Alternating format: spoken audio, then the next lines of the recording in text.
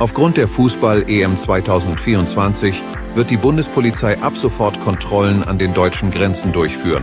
So sollen Gewalttäter schnell identifiziert und gestoppt werden, um ein friedliches Fest zu gewährleisten. Die Grenzkontrollen werden bis zum 19. Juli 2024 stattfinden. Die Kontrollen erstrecken sich auch auf die Grenze zu den Niederlanden. Es muss ein gültiges Ausweisdokument mitgeführt werden, wobei der niederländische Führerschein in Deutschland nicht als offizielles Ausweisdokument gilt. Das Eröffnungsspiel Deutschland gegen Schottland findet dann am 14. Juni in München statt.